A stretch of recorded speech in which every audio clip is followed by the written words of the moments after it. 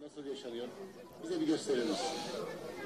Hayırlı Ramazanlar dileyelim bir kez daha. Gaziantep'in aslında depremden en fazla etkilenen noktasıydı. İslahiye ilçesi 41 bin nüfusu ilçede adeta taş üstünde taş kalmadı. Bulunduğumuz nokta konteyner kentlerin olduğu nokta Ertuğrul Solmaz'la birlikte buradaki son durumu da ekranlara getireceğiz. Zira burada aslında şu anda bir iftar hazırlığı da başlamış durumda. Çok az kaldı artık sayılı dakikaların içine girmiş e, durumdayız. İftar için vatandaşlar da bu noktada konteynerden yemekhaneye geçmeye başladılar. Ertuğrul'la birlikte aslında biz aylardır, bir buçuk aydır bölgedeyiz. Gaziantep'teyiz. Gaziantep'in Nurdağ ilçesi ki oradaydık. Buradan İslahiye'ye geldik ki burada aslında yaşam alanları oluşturulmuş durumda. Arkada berberler, kuaförler yine marketlerde yer alıyor. Aslında çocukların o depremin yıkıcı izini unutması için de e, birçok aktivite yapılıyor. Oyun alanları da onlardan biriydi. Ertuğrul'la beraber ilerleyelim. Zira artık iftara da son hazırlıklar yapılıyor. Peki konteynerlardaki durum ne? Bir konteynere misafir olacağız biz de. Ertuğrul'la birlikte bu Ramazan akşamında. Aslında e, 11 ayın sultanı Buruk geldi. Kahramanmaraş merkezi o depremde 11 ilde ciddi anlamda yıkım vardı.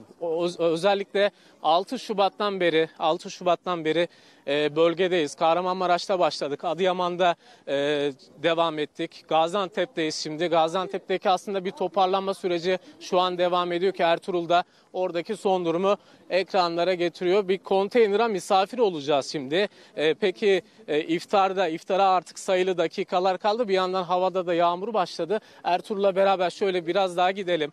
Zira burada hayat devam ediyor. İnsanlar konteyner kentlerde yaşama bir şekilde devam etmeye çalışıyor. O konteynerlardan birisi de burası. Şöyle hemen e, kapıyı da çalalım. Selamünaleyküm. Hayırlı Ramazanlar. Müsait mi? Gelebilir miyiz? Şöyle gelelim Ertuğrul'la beraber. Hem bir yandan yağmur var. Şu ayakkabıyı da çıkarayım ben. Selamünaleyküm. Hayırlı Ramazanlar dileyim. Buyurun Hoş bulduk. Nasılsınız? İyi şükür oğlum. Hatice teyzem, e, siz burada yaşıyorsunuz. Şöyle gelelim isterseniz. Şöyle oturalım. Sofraya misafir olalım. Buyur. Ramazan nasıl geçiyor burada? Çok şükür güzel. Her şey iyi. Fatma Şahin'de de Allah razı olsun. Devletimizde de Allah razı olsun. Milletimizde de Allah razı olsun. Her şeyimiz var. Hiçbir eksiğimiz yok şükür. Hatice teyzem, e, deprem yaşadınız. Evet, Nurdağ'ında, İslahiye'de burada İslahiye'de, çok yıkım oldu. evet. E, sizin binalarda da vardır hasar. Var bizki yıkılacak oğlum. Bize Tayyip Bey yani başkanımız yapmıştı oğlum. Bir artı bir. Bize hani engelliyim ya.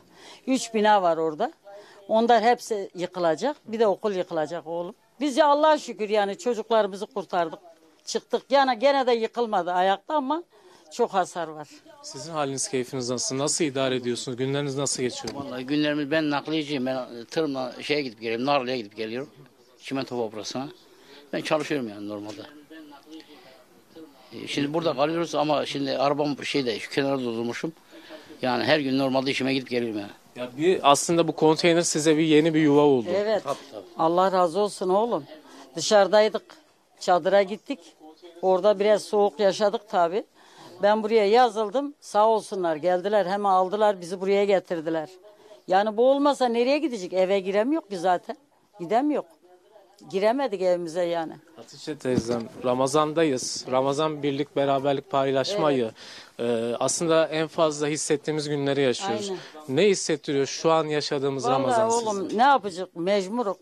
Mecburuk yani. Ne yapabilir? Gene de devletimizde, milletimizde Allah razı olsun. Yapanlarda, getirenlerde. Çok razıyım. Bir şeye ateş koymuyorlar, soruyorlar, geliyorlar. Fatma Şahin de geliyor mesela, başkanımız.